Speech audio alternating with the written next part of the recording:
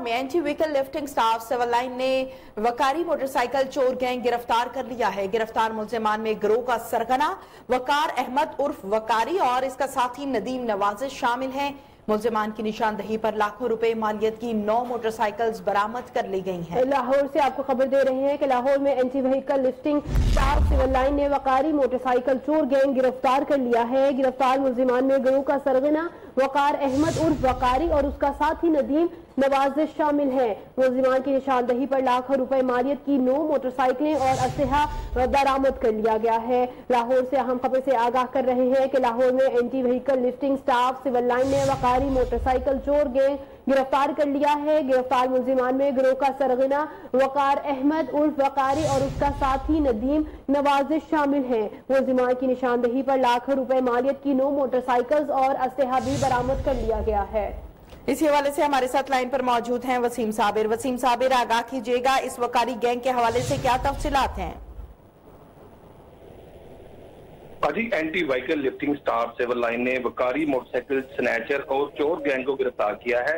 گرفتار ملزمان میں گروہ کا سرگنہ وقار احمد عرف وقاری اور اس کا ساتھی ندیم نوازش شامل ہے۔ ملزموں کی نشاندہی پر لاکھوں روپے مالیت کی نو موٹر سائیکلیں اور نجائز آتشی اسلحہ بھی برآمد کیا گیا ہے، جبکہ ملزمان کا شہر کے مختلف علاقوں میں موٹر سائیکل چوری کی متعدد مزید وارداتوں کا بھی انکشاف ہوا ہے۔ اگر بات کی جائے ملزمان کی ملزمان سابقہ ریکارڈ یافتہ ہیں اور اسے قبل بھی کئی بار جیل جا چکے ہیں، جبکہ گن پوائنٹ پر یہ لوگوں سے موٹر سائیکل چھینتے بھی تھے، چوری بھی کرتے تھے۔ اگر بات کی جائے D S P, A V L S کی، تو مزمل حسین کی سربراہی میں انچارج موٹر سائیکل سٹاف جو ہے وہ سیول لائن انسپیکٹر جو ہے وہ اظہر نے جو ہے وہ اپنے دیگر ملازمین کے ہمراہ جو ہے وہ چھاپا مار کے جو ہے وہ ملزمان کو گرفتار کیا ہے۔ ملزمان کی اگر بات کی جائے تو لاہور کا کوئی بھی ایسا علاقہ، کوئی بھی ایسا ایریا نہیں ہے جہاں پہ انہوں نے موٹر سائیکل سنیچ نہ کی ہو اور چوری نہ کی ہو۔ جبکہ چوروں سے جب میری ملاقات ہوئی، میری بات ہوئی، تو ان کا کہنا تھا کہ ہم لوگ عرصہ دراز سے جو ہے وہ ماسٹر کی کے ذریعے جو ہے وہ موٹر سائیکلیں کھولتے تھے۔ موٹر سائیکل چاہے نئی ہو، چاہے پرانی ہو، اس کو دوسرے اضلاع میں جا کے فروخت کیا جاتا تھا۔ نئی موٹر سائیکل کی قیمت ہم اپنے ناظرین کو بتاتے چلے ایک لاکھ پندرہ ہزار روپے کا جو motor cycle one two five خریدا جاتا ہے، وہ صرف پچیس ہزار روپے جو کہ دوسرے اضلاع میں جا کے فروخت کیا جاتا ہے۔ سیونٹی موٹر سائیکل کی بات کریں، دس سے پندرہ ہزار روپے کی نئی موٹر سائیکل جو ہے لاہور سے چوری کی گئی۔ دوسرے ضلع میں جا کے فروخت ہوتی ہے۔ دونوں ملزمان نے جو ہے وہ متعدد وارداتوں کا انکشاف کیا ہے۔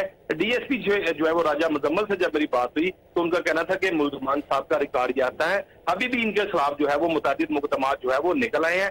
جبکہ سی آر او کے مطابق جو ہے وہ تمام ملزمان، ان کے تین ساتھی جو تھے، وہ بھی جو ہے وہ اس وقت فرار ہے جن کی تلاش میں جگہ جگہ چھاپے مارے جا رہے ہیں۔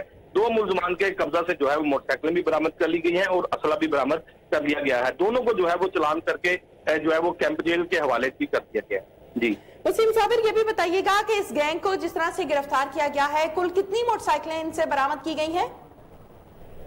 تقریباً گیارہ موٹر سائیکلیں جو ہے وہ اب تک ان سے برامد کی گئی ہیں۔ اس سے سابقہ ریکارڈ کی اگر بات کریں تو سابقہ ریکارڈ کے مطابق بھی جو ہے وہ یہ پچاس پچاس موٹر سائیکلوں میں چلان ہوئے تھے۔ ابھی جو ہے وہ ان کے قبضہ سے جو ہے وہ تقریباً ایک درجن کے قریب جو ہے موٹر سائیکلیں برامد کی گئی ہیں۔ موٹر سائیکلوں کی اگر صورت دیکھی جائے تو موٹر سائیکلیں ان میں جو ہے وہ ون ٹو فائیو نئے بھی ہیں جو کہ لوگ اپنی خون پسینے کی کمائی سے موٹر سائیکلیں خریدتے ہیں، اپنا پیٹ کاٹ کر خریدتے ہیں، اپنی تنخواہیں جو ہے وہ گروی رکھا کر جو ہے وہ موٹر سائیکلیں خریدتے ہیں، لیکن چور صرف پچاس روپے کی جو ہے وہ ماسٹر کی چابی بنواتا ہے، ماسٹر کی والے سے، جبکہ وہ اسی چابی سے جو ہے وہ موٹر سائیکل کو کھول کے جو ہے وہ بذریعہ روڈ یا پھر کسی ٹرک کے اندر جس طرح سے لاہور سے باہر کی پشاور ٹرک جا رہا ہے تو اس کے اندر موٹر سائیکل کھول کے رکھتے نہیں، تو یا کسی بوری کے اندر جو ہے وہ، اس کے جو ہے وہ، رکھ دینا سامان کھول کے۔ اس طرح سے موٹر سائیکلیں جو ہے وہ لاہور سے بڑی تیزی سے باہر جا رہی تھی، تاہم جو ہے وہ ابھی ان کے قبضہ سے گیارہ موٹر سائیکلیں برامد کر لی گئی ہیں۔ لیکن ان کا شفاعت ان کے زیادہ موٹر سائیکلوں کے ہیں۔ ڈی ایس پی کا کہنا تھا کہ ان موٹر سائیکلوں کو بھی جو ہے وہ جلد ریکور کر لیا جائے گا۔ جی۔ ٹھیک ہے، بہت شکریہ آپ کا وسیم صابر تفصیلات سے آگاہ کرنے کے لیے۔